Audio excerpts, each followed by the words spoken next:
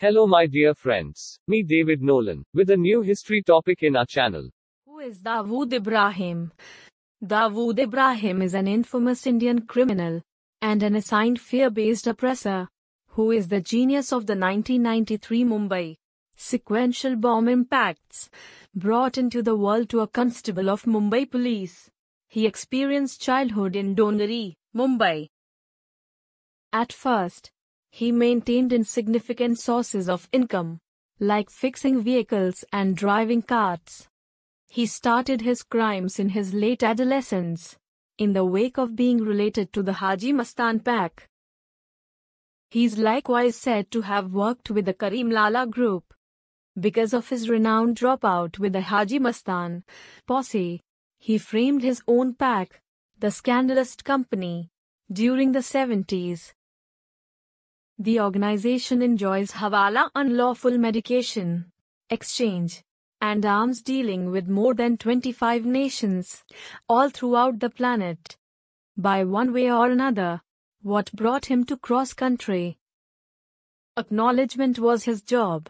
In the 1993 Mumbai sequential bomb impacts, which he had arranged with Tiger Memon, he was announced a worldwide fear based oppressor by both the US and the Indian governments, and is at present supposed to live in Karachi, Pakistan. Perhaps the most pursued psychological militants in Indian history, Dawood has been on the most wanted rundown of the National Investigation Agency, NIA, for seemingly forever. Youth and early life of Dawood Ibrahim. Dawood Ibrahim Kaskar was brought into the world on 27 December 1955 in Khed, a humble community in the Ratnagiri area of Maharashtra. His dad, Ibrahim Kaskar, filled in as a head constable with the Mumbai police and his mom, Amina, was a housewife. The family moved to Dongri, a Muslim overwhelmed territory in Mumbai. Brought up in a lower working class family, Dawood had greater dreams since the time he was a child. Not exceptionally inspired by scholastics, he exited the school and began acquiring at an extremely youthful age. He filled in as a specialist and furthermore drove a cart to make money. However, this didn't fulfill him. By the time he arrived at his youngsters, he had begun engaging in unimportant wrongdoings and cheats. He designated the occupied Crawford Market in Mumbai and sold modest copy watches, tricking individuals with their phony sticker prices. Numerous grievances were enlisted against him. He continued enjoying such unimportant wrongdoings till his late youngsters. The beginnings. By the time he was in his late adolescence, the Karim Lala group and the Haji Mastan posse had gotten exceptionally notorious, which drove a youthful Dawood to hold hands with them. His yearnings to turn into a hidden world pioneer had him enjoy gentle fights with his gangsters. He for the most part battled for Haji Mastan. The renowned pack battle between the Haji Mastan group and the Pathan posse transformed him into a dreaded element. When the Pathan posse killed Sabir, one of Dawood's siblings, crap hit the fan. Hoodlum Manya Surve was supposedly associated with the homicide and held hands with the Pathans to battle Dawood and the Haji Mastan pack. This was one of the deadliest hidden world conflicts that Mumbai had at any point seen. Dawood cleared out the whole Surve and Pathan groups alongside their friends. Dawood assumed control over the Mumbai group, seen when Haji Mastan entered legislative issues.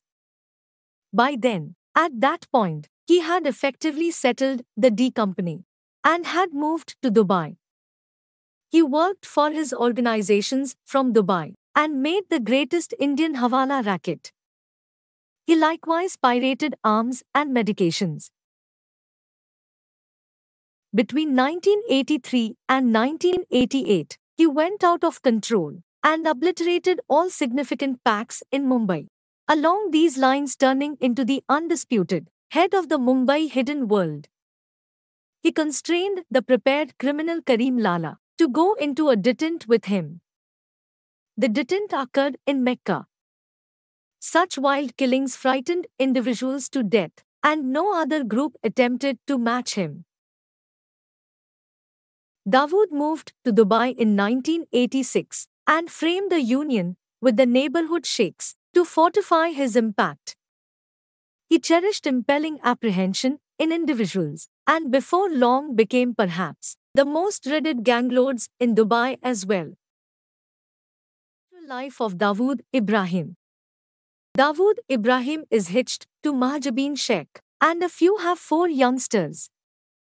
One of his little girls, Mahrukh, wedded Junaid Miandad, child of previous Pakistani cricketer Javed Miandad. Another of his girls, Mehreen, wedded a Pakistani, American financial specialist. His child Moin wedded Sania, the little girl of a London based Pakistani financial specialist. He lost one of his girls, Maria, to an ailment in Pakistan in 2010. Moin Ibrahim, his lone child, turned into a Maulana in 2017. And this supposedly didn't go down well with Dawood.